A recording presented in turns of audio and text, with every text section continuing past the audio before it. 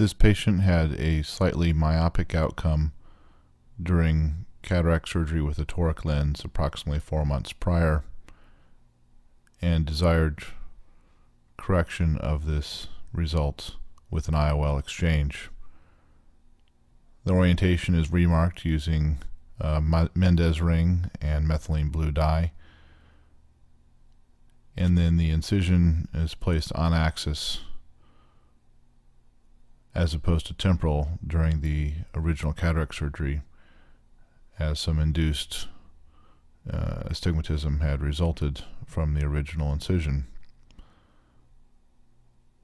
An Arshinoff soft shell technique is used using Viscoat and Provisc, and then Viscoat is placed into the capsular bag via a 30 gauge hypodermic needle slid underneath the anterior capsulorhexis.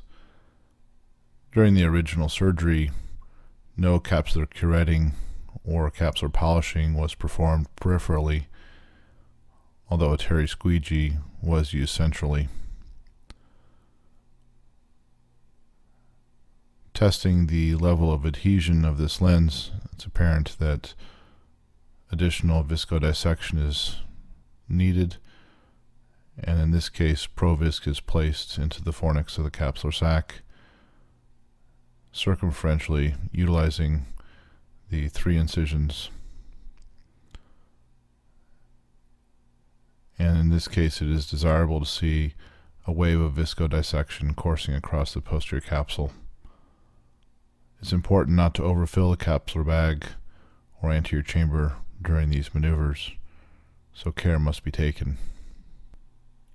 The distal haptic is then elevated out of the capsular bag into the anterior chamber using a Kuglen hook.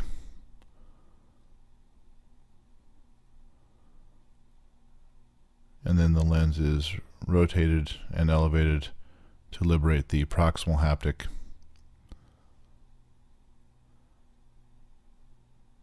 The most stuck portion being the distal bulb of the haptic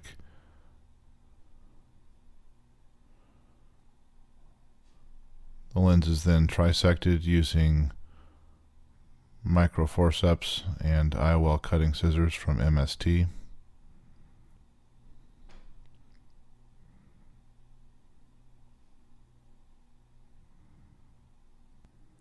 The lens is then reassembled on the corneal surface to ensure all portions are removed.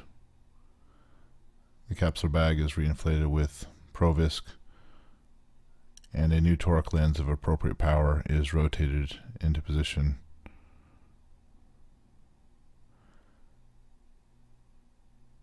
Viscoelastic is removed posterior to the lens as it is in an original toric implantation.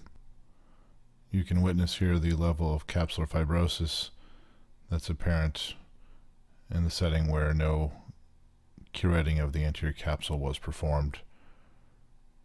This patient had an excellent outcome with a stable lens.